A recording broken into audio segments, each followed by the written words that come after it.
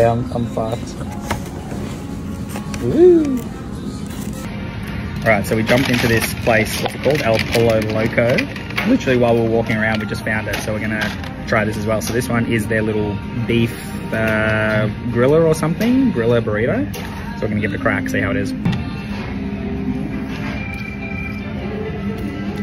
Oh, that's pretty fucking good. Mmm. That's really tasty. I'm gonna dip it in this, uh, dip it in this hot sauce.